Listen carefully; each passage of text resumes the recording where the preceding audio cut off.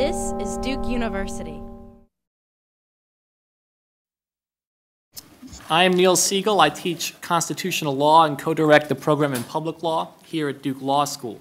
Uh, the program is honored to mark the passage of 10 years since the terrorist attacks of September 11th, 2001.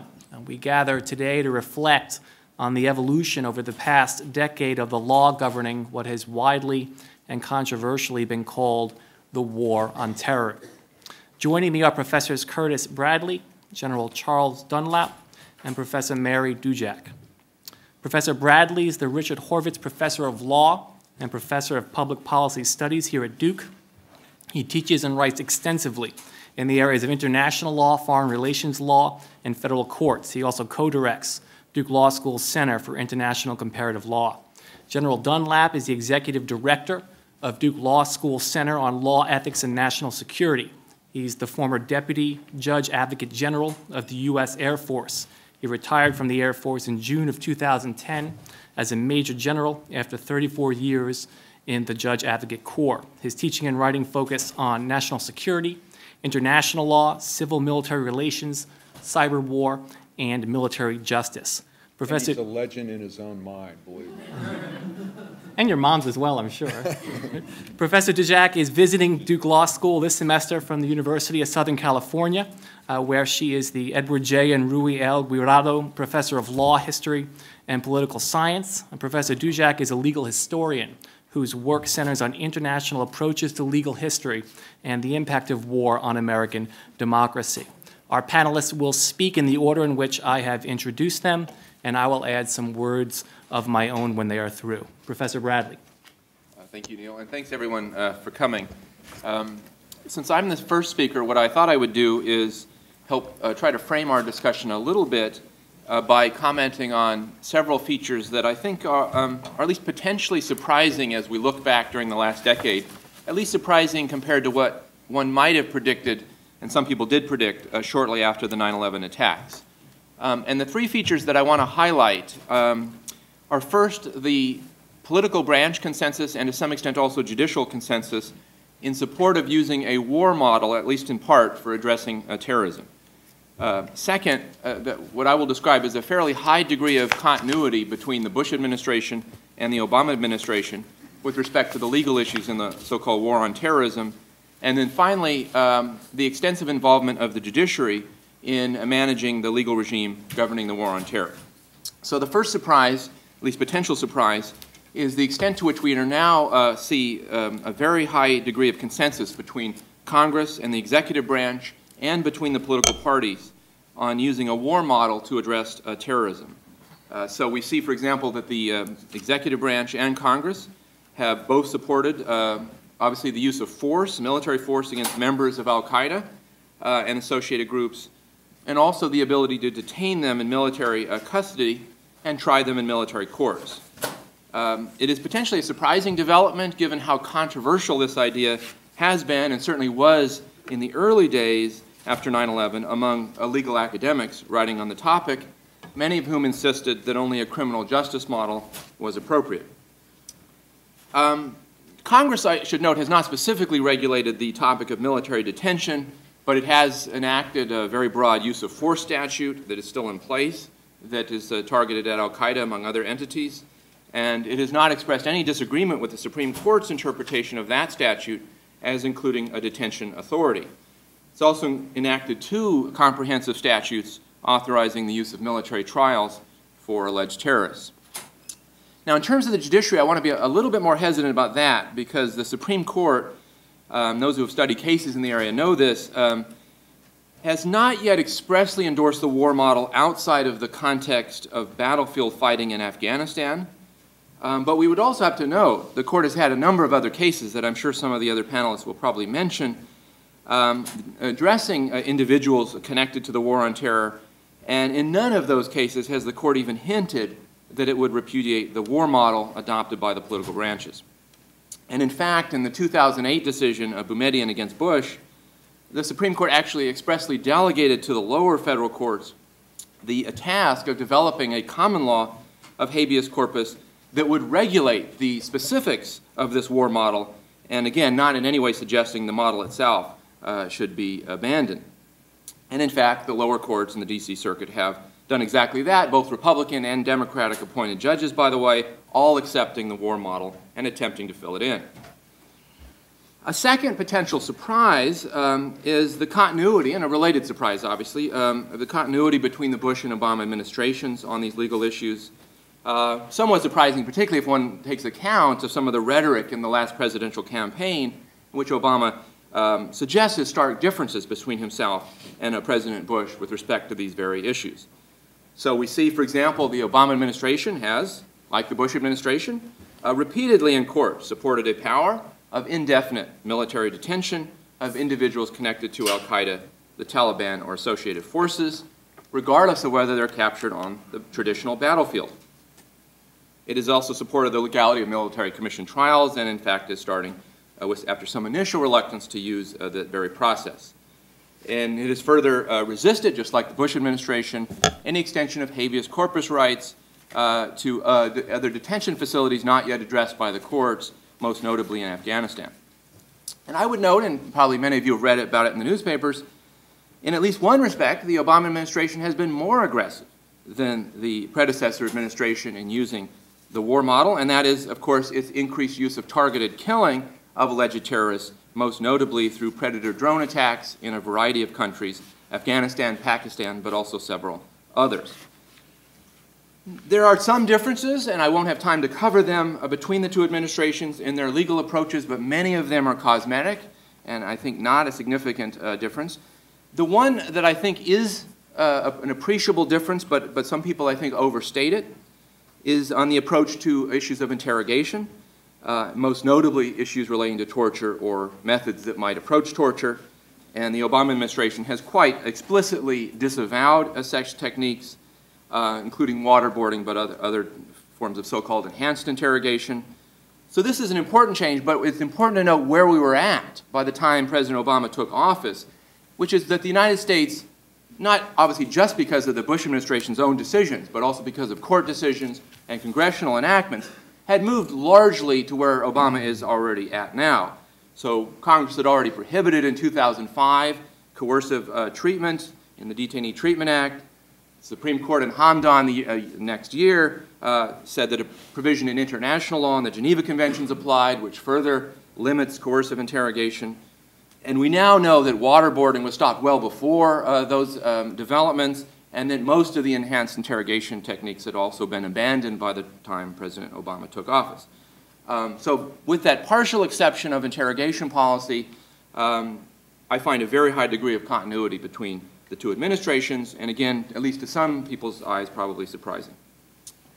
A final uh, potential surprise as I look back in the last 10 years is the extensive uh, involvement of the judiciary and at least being available to manage the legal regime of the war on terror. And if you go back and read a lot of the articles that were written right after 9-11, but certainly also before, more generally about war, you find many and perhaps most scholars saying courts simply don't play much of a role during wartime. They're completely deferential to the executive branch. They find uh, consistently reasons to abstain, so they often don't intervene at all. No, the Youngstown steel seizure case, uh, perhaps the one exception that pro proves the rule during the Korean War. But most people say the paradigm is the infamous Korematsu decision during World War II when uh, the court upheld, uh, very controversially, uh, the exclusion of Japanese Americans from the West Coast, showing in many people's eyes this strong deference to the war policy of the executive.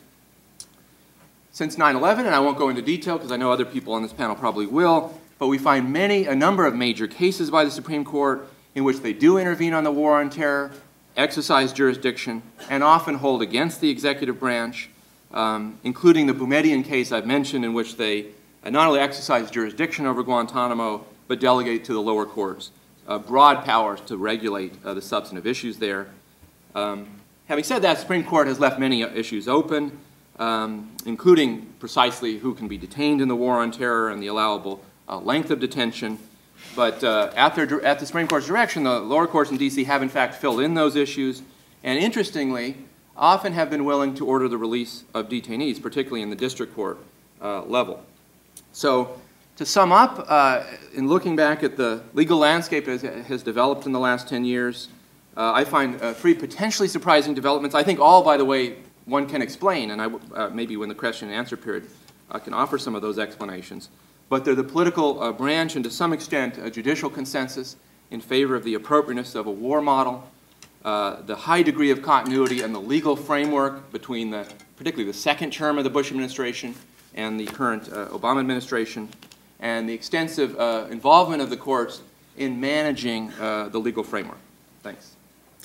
Thank you, Professor Bradley. We'll hear now from General Dunlap, who will discuss the rise of lawfare in military operations, as well as the use of drones. I, thanks a lot, Neil. And uh, Curt, that, I'm in violent agreement with everything I understood about your. Hopefully not too violent. uh, what I'd like to talk about very briefly, because I really would like to get to the Q and A, because a lot of times that's that's the more interesting thing for all concerned. I want to talk about something, as Neil mentioned, lawfare, and from the context of how has the the law within the armed forces, how has the view of the law changed since 9/11? And I think it's been pretty dramatic. You know, it's always been in the military. You would get some legal training in terms of the law of armed conflict, meaning the forces in general. But since 9/11, it's gotten very dramatic for a number of reasons. Dunlap's view is it has a lot to do with globalization. If you look at the history of warfare, whatever has happened in the commercial sector tends to bleed over into, into the way wars are fought. Globalization has spurred the rise of international law because you need international forums, you need accepted principles and so forth to have commerce. And that has, and once that consciousness has been raised, then people are going to start looking for other opportunities on how to use law. In terms of conflict, I call lawfare the strategy of using or misusing law as a substitute for traditional military means. And let me give you an example. The beginning of Operation Enduring Freedom, which was the Afghanistan operation, there were companies out there who were selling imagery. They take a picture, a satellite image of our base, and it was three meter resolution. So you could see the fighting positions, you could see the, the, the fence line and so forth. And a number of different ideas were put forth about how we were going to deal with that. And there are tradi more traditional military means that we could have used to stop that information from getting to the bad guys, but instead a legal weapon was deployed called a contract. And we bought up all of that commercial imagery. We spent about $22 million to buy up that commercial imagery but it had the same effect as if we had used traditional military means. Um, the rule, reestablishment of the rule of law has become a central tenet of our counterinsurgency strategy. If you look at General Petraeus's book, there's a whole chapter in there about rule of law and how it's essential. The, the reason being, and Senator Lindsey Graham, who's a reserve military lawyer and who had been a student of mine years ago, not a very good one, I might add. He's done well since then. But um, he said, you know, there's more than one way to kill an insurgency, and part of it is you reestablish the rule of law to give people confidence in the government and willingness to, to support it. But the most common use of lawfare, I would have to say, is by our adversaries, and this has a lot to do with trying to uh, present what we're doing as somehow illegal or immoral. And Bill Eckhardt, who a colleague of mine, he's a Vietnam veteran, had tried some of the uh, tried the My Lai massacre case during the Vietnam War. He said that you know he he really uh, in a law review article in the Chicago Law Review. He talks about how the adversary is exploiting our the way we're fighting and trying to allege that it's immoral or illegal. And I agree with them. And it's bad enough when the enemy manufactures those incidents, but it's even worse when there's a true incident to exploit. It is a sad irony that the biggest defeat the United States has suffered since 9 11 was not by force of arms. Not a single American soldier directly died as a result of this defeat. But it had the most catastrophic effect of anything, and it was Abu Ghraib. General Petraeus will tell you today that Abu Ghraib and the, the, everything that came out about the detainee abuse had a, he says it's non-biodegradable. that means even today it is brought up by people in the Middle East. And I think it's something that is even affecting the American psyche because there was a, there was a poll just this last August that was generally supportive of a lot of things that the United States is doing. This is a poll of Americans. But 41% of Americans said that they were ashamed of the image that fighting the war on terrorism has given the United States and the rest of the world. I thought that was kind of interesting. But we've also seen another phenomenon. When people try to improve upon the law, and NATO is a good example in Afghanistan. In 2007, after there was an airstrike and some civilians were killed, NATO came out and said, you know, if, I want to get these words right, if we knew there were civilians nearby, we wouldn't drop a bomb. Okay, thought balloon here. What do you think the enemy starts thinking when he hears that? And a year later, NATO said, um, and I'm, I'm quoting here, if there's a likelihood of even one civilian casualty, we won't bomb, not even if we think Osama bin Laden is down there. So what has that done? The law doesn't require that. The law re requires a proportionality analysis so that casualties shouldn't be excessive. But when you start trying to, these well-meant, I will assume, efforts to improve upon the law, you actually cause more civilian casualties. And an example of that is when General McChrystal went in and he put all these additional restrictions on airstrikes. Okay, that was in June of 2009. What do you think the numbers showed by 2010, June of 2010? Yes, the number of civilian casualties by airstrikes went down. But guess what? The overall number of civilian casualties went up by 31 percent and the number of NATO troops killed reached an all-time high.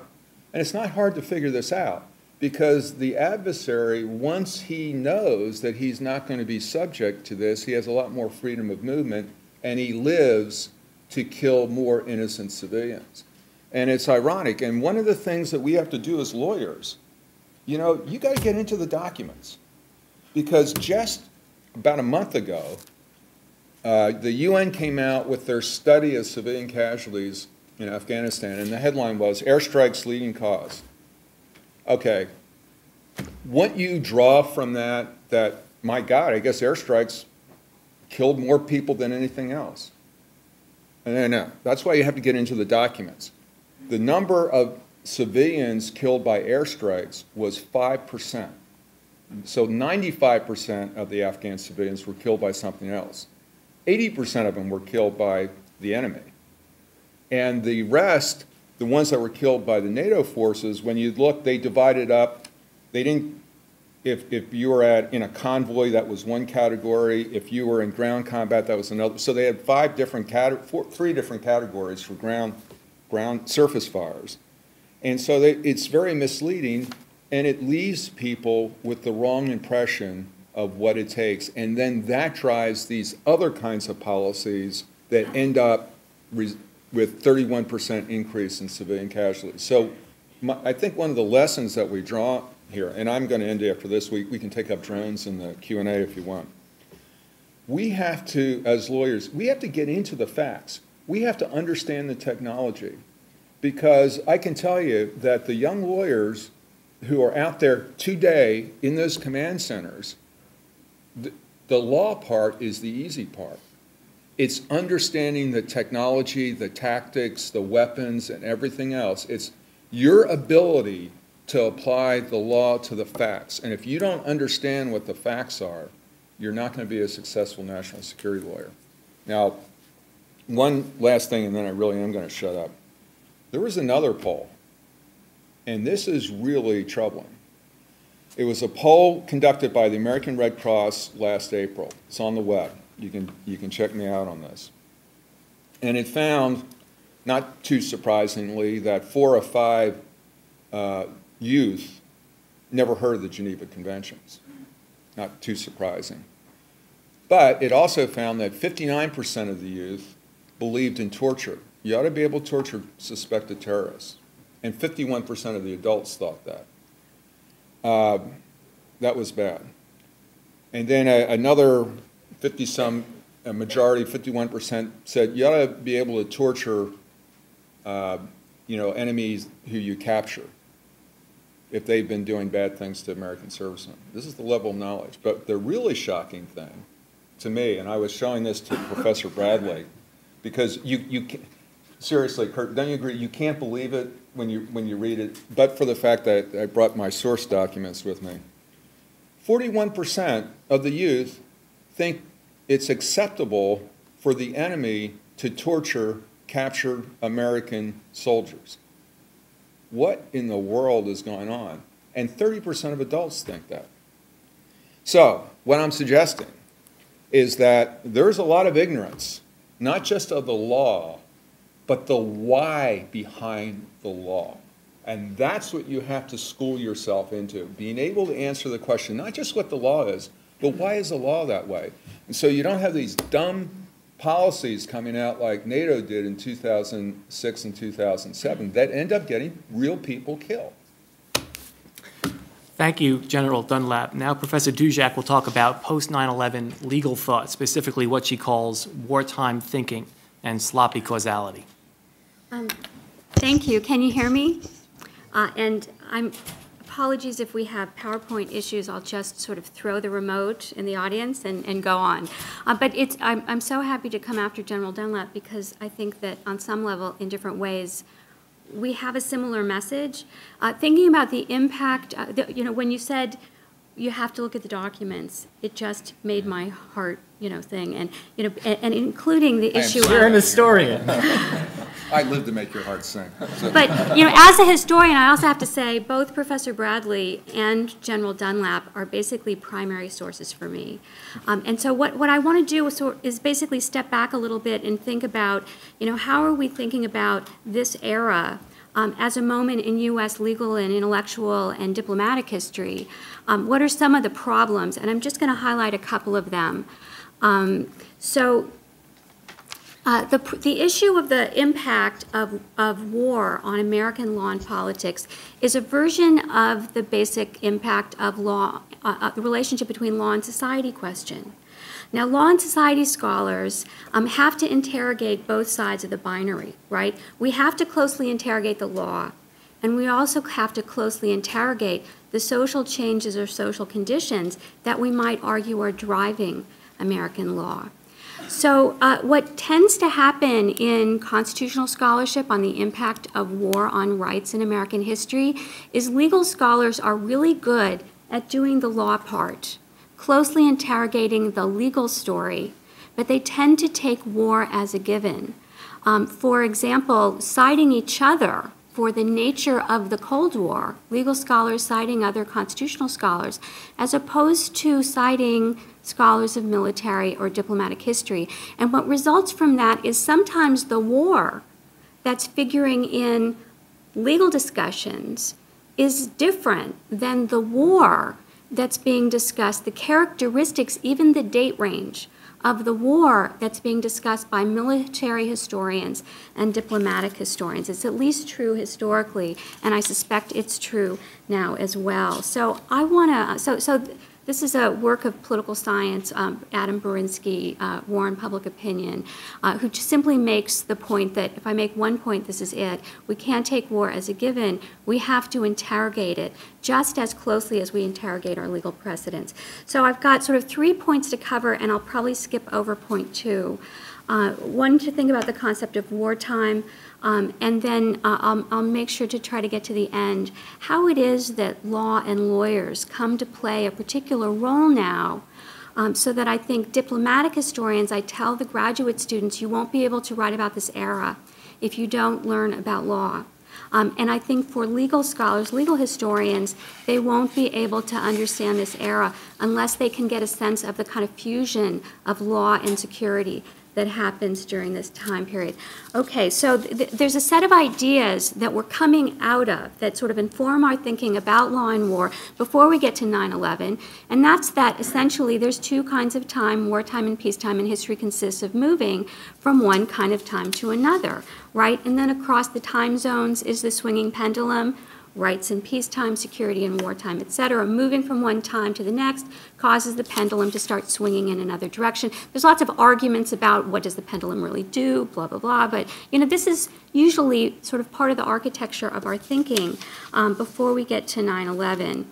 Um, and so built into this is an assumption that war is temporary, right? It's always followed by peacetime. So when we enter a wartime, we've by definition entered an era that comes to an end. And that helps to facilitate a number of things, the most important of which is, you know, that wartime essentially becomes an argument. Why do this? It's wartime. What does that mean? It's at least two things. It's really important because the security of the nation is at stake. But also, it's temporary. Don't worry about it. We're going to stop doing this after a while. Um, and basically, what happens post 9 11, whoops, the wartime is supposed to be crossed out. Uh, so basically, what happens is scholars argue about what is this? Uh, is this a war? Is this a crisis? And there's a lot of law review articles taking that up. Um, but basically, what happens is there's a new language for this exceptional kind of time.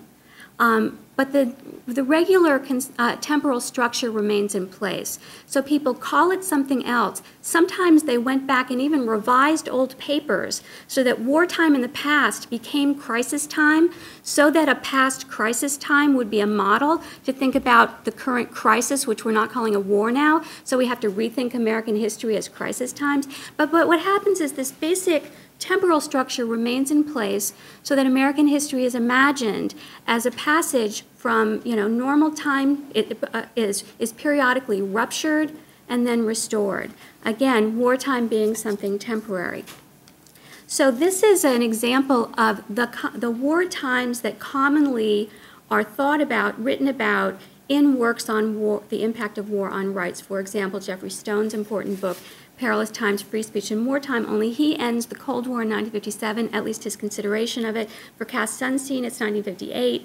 You know, but basically these are the wars, regardless of how they're, they're temporalized. So let me just give you another way of thinking about it.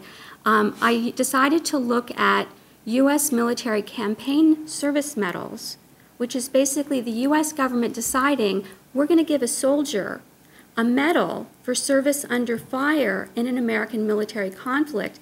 If we look at those, it looks like this. Um, okay, and so basically what you see is uh, American forces deployed many places, many times, um, and it's hard to think about American history the way Geoff Stone talks about it in Perilous Times. He says 80% of our nation's history is peacetime, only 20% is in wartime. It's during these war times that we essentially screw up First Amendment rights and then we have to fix it. Uh, and so wars are lessons for the next exceptional moment that comes along. So um, basically, one of the things that I think we have to do in thinking both about how to understand the past, but how to understand the past as having lessons for our current era, is to sort of step back and actually look at what's been the experience of American war? Um, and I think that uh, you know you could come up with other sequential arguments about times that matter, but but I think our our current um, uh, framework tends not to work. Um, now it's in part because of the fluidity and persistence of um, contemporary military conflict that it hasn't been easy uh, to bind it in time that we get unsuccessful efforts on the part of precedents to basically shove war in time to sort of call, call it call an end to it. And so one example of course is the mission accomplished moment. But we had another one um, right? You may not have remembered this but there was supposedly uh, an end of conflict in iraq uh, in, in august 19, uh, 19, 2010 it was a media moment between nbc news and the obama administration followed by a speech um, that where, where uh, President Obama said conflict in Iraq is over. This immediately created a problem uh, because sol- and, and, and here was the sort of pullout of Iraq um, and the end of the conflict. So soldiers then said, well, wait a minute. I'm still serving in Iraq. Do I am I eligible for hostile fire pay? Uh, do I get my do I get a medal for this? And so the army came back quickly and said, well, combat um, uh, uh, combat has ended, but combat conditions persist. Um, and so uh, uh, Thomas Ricks said, rarely uh, are, are, is the government so clear that the emperor has no clothes, clothes, but they had to do something because soldiers really care about medals. Um, now, I'm going to skip past beginning of the war, uh, how it's framed, and a curious aspect of post 9 11 thought that legal scholars started uh, wrapping themselves around uh, Nazi political theorist Carl Schmitt.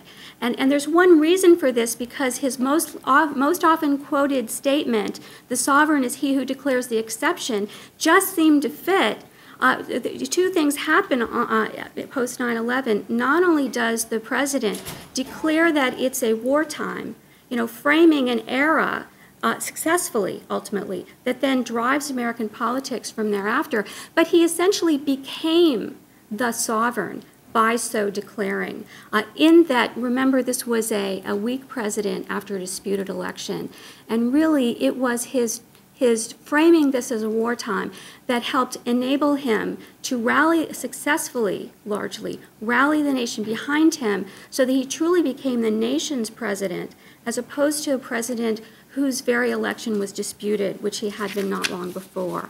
Uh, anyway, but there's a, this is the uh, cites to Schmitt in legal scholarship that, uh, so I will, um, and I just want to say, uh, that this, this argument tends to cause us to see everything as being so overdetermined.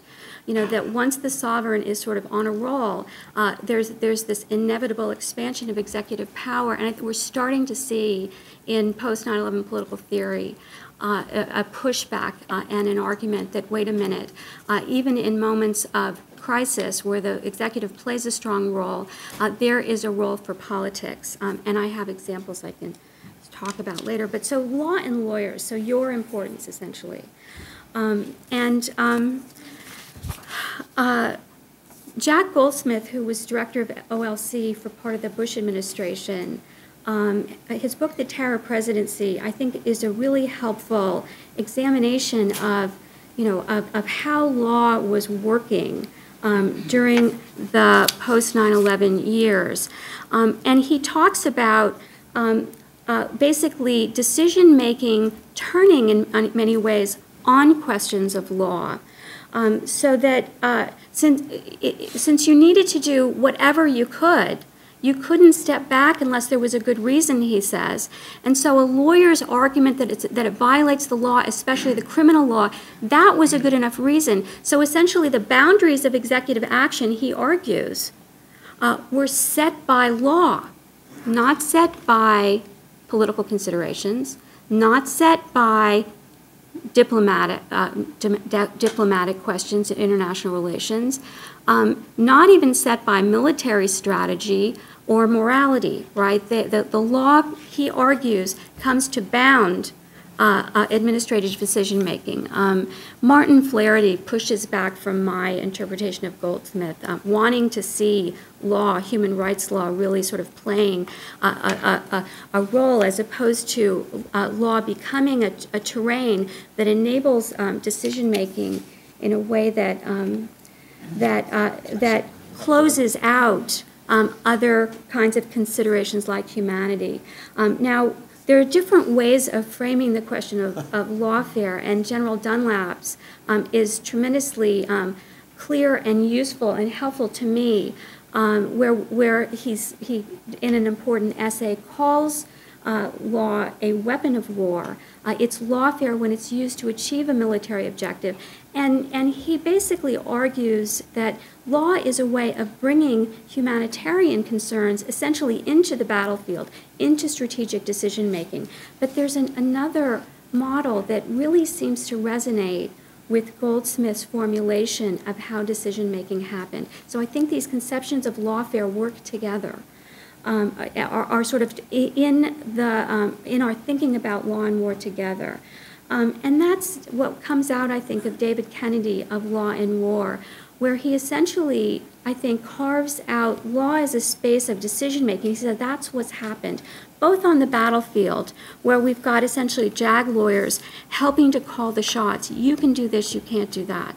Right, so that law is, is, is infused into the battlefield um, perhaps as a way of bringing humanitarianism in, But Kennedy says displacing other ways of making decisions, including simply thinking about is it a good thing to kill this person? Is it a good thing to refrain? Um, so, so Kennedy basically sees uh, law as a decisional space um, blocking out other forms of judgment. And the 9 11 director, um, uh, Commission Director Philip Zelikow, talks about it exactly the same way uh, that, that lawyers end up framing the decisions. Uh, blocking out considerations of foreign affairs, politics, and, and other things. Um, and so, uh, so this, I think, is, uh, is a conundrum going forward um, that we're likely to see a fusion of law and security um, going forward. Um, and just back to my original point, in order to understand this era, whether you're interested in domestic civil rights, whether you're interested in international law, um, whether you're interested in executive power, we have to take into account the kind of fusion of law and war um, that happens in the post 9 11 era. And think seriously about how lawfare works, either as the sort of tool uh, that can be um, useful militarily or legally, as, as uh, General Dunlap uh, describes it, uh, or do we have an environment that D David Kennedy um, uh, uh, um, con is concerned about. Law basically taking up the space, becoming a terrain of decision, so that it's law that's setting the boundaries of our action and not the broader set of human uh, concerns, conditions, and norms uh, that we might think should be part of policymaking. All right, thank you very much, Professor Dudziak. What I'd like to do uh, with, my time is focus on what I know best, which is uh, the decision-making of the Supreme Court of the United States since the terrorist attacks of 9-11. And specifically, I want to identify one key way in which the court's performance in terrorism cases is very similar, very much reflective of the functioning of the late Rehnquist and early Roberts courts during the same time period in other areas of constitutional law. And then I want to identify uh, an illuminating way in which the court's performance in terrorism cases is not particularly reflective of the court's functioning in many other areas of constitutional law over the past decade. So first, how are the court's terrorism decisions like the court's performance more generally? Well, the court's decided six major terrorism cases since 9-11. Uh, they've involved the habeas corpus rights of citizens or non-citizens um, for the most part in these cases, the executive branch was either detaining citizens or non-citizens as so-called enemy combatants without access to federal court review of the legality of their detentions, or else the executive was attempting to prosecute detainees in military commissions for alleged violations of the laws of war. Uh, six cases. In each of the six, Ju Justice Anthony Kennedy is in the majority. And you might not think that's that big a deal. It's only six cases. Well, it turns out that Justice Kennedy is the only justice who's in the majority in all six cases. Um, so what does this reveal? Uh, I think it reveals what we know about uh, the late Rehnquist court, especially the early Roberts court, which is that the court is a they, not an it. Uh, it's composed of nine highly opinionated, methodologically and ideologically diverse lawyers. Uh, on such a court, uh, the median justice prevails much more often than not, and over the past decade, Justice Kennedy has been the median justice more often than any other justice. Uh, I say that because uh, Justice O'Connor, right, is no longer uh, no longer on the court. I think she was, while the time she was there, uh, arguably more often the median, although they, they split that uh, they split that, that that characteristic very much of the time. What this means is that the, the Supreme Court's terrorism jurisprudence is Justice Kennedy's terrorism jurisprudence. And I think these decisions reflect at least four features of the ways in which he responds to constitutional cases. Uh, first, these decisions reflect his legal pragmatism, uh, by which I mean his concern about the consequences of judicial decision making for the country and for the court itself as an institution, his preference for standards that accommodate conflicting values over rules that provide clear guidance but sacrifice certain values to others. I think, secondly, these decisions reflect his moral idealism, by which I mean his very strong sense of fairness to the individual, of justice. Uh, third, I think these opinions reflect his sensitivity to public opinion, as well, uh, more broadly as uh, world opinion. And finally, I think these, these opinions reflect what I think some of you have already experienced in law school, which is uh, Justice Kennedy's sometimes creativity in distinguishing precedents and statutes that uh, at least appear to interfere with the vindication of these other commitments. So I think uh, the Supreme Court is the Kennedy court in terrorism cases as well as in uh, Supreme Court constitutional cases more broadly. All right, second, how are these terrorism decisions uh, unlike the court's performance more generally? Well, if you remember a case uh, you may have forgotten from long ago in 2000 called Bush against Gore, um, uh, the court that decided Bush against Gore was and remains a self confident and assertive court, regardless of what you think about the outcome of that case. And judging from the polling data uh, that's been available since that time, including very recently, the court has good reason to be self confident about its general capacity to secure compliance with its decisions. The court is substantially more popular than the other branches of the political branches of the national government. Nonetheless, in the specific area of terrorism, what I want to suggest is that the court's role has been palpably and self consciously modest. It has not been all that aggressive all that assertive. Think about all the legal and political controversies related to terrorism since 9 11 uh, that the Supreme Court has had and will have absolutely nothing to say about. Um, as, as for what the court has had something to say about, certain, certain uh, characterizations, generalizations are appropriate. Um, for one thing, it's not said all that much.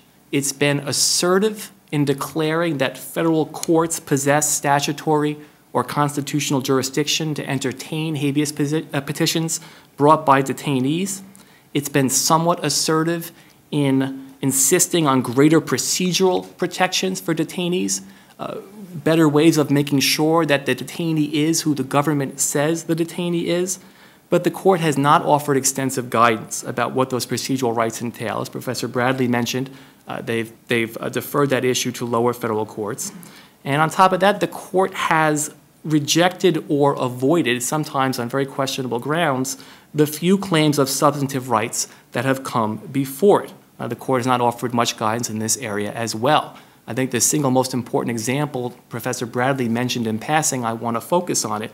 I think it's the single most important substantive question regarding the authority of the executive branch to indefinitely detain alleged terrorists. Who qualifies as a so called enemy combatant subject to indefinite detention without prosecution for a crime. What's the outer limit on this legal category? In other words, even if a detainee is given all the procedural rights in the world, greater than exists in an Article 3 federal court, can the government detain the individual? For example, if someone gives money to what they think is a charitable organization, but it ends up turning out to be a funding source for Al Qaeda, can that person be detained as an enemy combatant? In Hamdi versus Rumsfeld back in 2004, the court defined the category of enemy combatant very narrowly for purposes of deciding the case. An enemy combatant who's detainable as part of a supporting forces hostile to the U.S. or coalition partners in Afghanistan and who engage in armed conflict against the U.S. there. The court left for another day the definition of enemy combatant in its fullest form, whether the definition was any broader. And seven years later, it's still leaving that question for another day, notwithstanding subsequent opportunities to flesh out the meaning, notwithstanding the Bush administration's very broad definition of enemy combatant, which a Bush administration lawyer said in court would cover the charity hypothetical that I just mentioned. The little old lady in Switzerland could be detained as an enemy combatant. And notwithstanding the Obama administration's somewhat less broad, but still broad definition of who can be detained as an enemy combatant. Why is this? Right? Why is the court had something to say, but not as much as in many other areas of constitutional law where it's quite confident about its ability to decide controversial cases?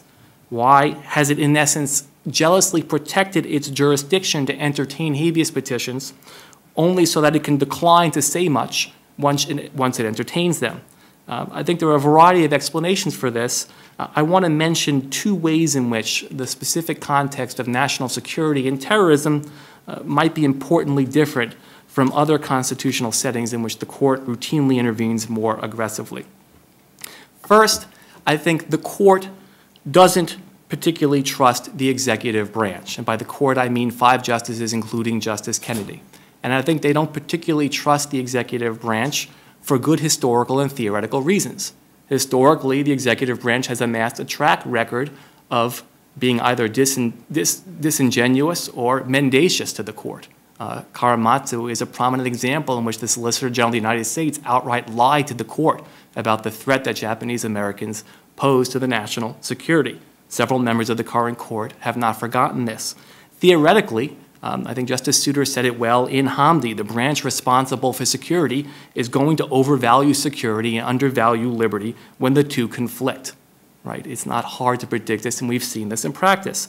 And so I think uh, the court retains jurisdiction so that it can restrain the executive and Congress to some extent, even when it does not rule broadly on the merits for the time being. The court retains discretion to intervene if and when it thinks the political branches have gone too far. At the same time, and here's my last point, I don't think the court particularly trusts itself either. I think the court is acutely aware that it lacks much relevant information, it lacks relevant expertise about how to protect the nation when it faces a threat of terrorism. Uh, it fears that the stakes are sufficiently high, that overvaluing liberty, undervaluing security, right, uh, when generals, judges do this, uh, that the consequences of a mistake can be deadly. And so it ends up deciding momentous cases narrowly, leaving many questions undecided. Let's stop there. We've got four minutes to go. I'm sure we can get 15 or 20 questions in. Yes? A question for General Dunlap. How instructive uh, has the Soviet experience, specifically with like the legal norms observed and not observed in Afghanistan, been for this concept of lawfare uh, as it applies to Soviet America? experiences, Yeah. is that what you said? Not instructive at all? Well, actually, wrong. Who's Uh, wrong? It is instructive because it's instructive of what not to do. And the thing I want to emphasize about lawfare is that it's not just law for law's sake or because it's the right thing to do or it's the moral thing. It's very pragmatic. In the modern world, you can't conduct operations if the world, if your own constituency doesn't support it. And a lot of that in a democracy has to do with doing things the right way. So the Soviet style in Afghanistan, I think, was counterproductive to their strategic interest as well as their tactical interest in terms of winning the hearts and minds, so to speak, of, of Afghans. So in other words, adherence to the rule of law is a very, very pragmatic thing. And in this respect, I will take issue with uh, David Kennedy's view that somehow law is occupying space and pushing other things out. I didn't see that. In fact, it was the lawyers who were bringing in the other kinds of considerations. And why is that? What does two, what does Rule 2.1 in the Model Code of Professional Responsibility, who knows this? 2.1 in the Model Code of Prof, it's the role of the lawyer as the counselor. And it says the lawyer may inform, you know, use uh, moral, ethical, political, economic matters which help the client's uh, situation. And that's exactly what you bring to the table. And a lot of times, lawyers have a better view of that than other people. So in other words, so the, the bottom line is, I think it's very instructive in a negative, it's a negative learning experience. It shows you what not to do if you want to win. Okay, one last question. Yes. Uh, My question is for General Dunlap. Uh, Sir, you you talked, you talked about uh, the requirement to look at the materials to apply the law to the facts, which I of course agree with, but can you comment on the challenge for either national security lawyers domestically or legal officers internationally to apply in some ways an antiquated law, if I can use that term, in an asymmetrical, in a symmetrical conflict to this new asymmetrical world and the the chasm that. Yeah, I'm, I'm in a universe of people that says that when you really study the existing law of war, it is applicable and it can be adapted to the modern condition, but you really have to get into it. The practical issue associated with it, for example, and this goes to something Mary said, everybody says, drones, oh God, they're a new thing, you know, we don't know anything about it, blah, blah, blah. Uh, You know, excuse me, but how did David kill Goliath? how did the English bowmen kill the flower of French knighthood at Agincourt? How did Alexander the Great defeat, with his 16-foot spears, defeat everyone else who had 12-foot spears? It's, so the concept is the same. You're killing before the adversary can bring his weapons to bear. But you have to unpack factually and as well as the law and go back to, well, why is the law this? It's all about answering the question why. Why is the law this way? What is the law trying to do? For example, you know, on this, this issue, should we try people in civilian courts or, or military?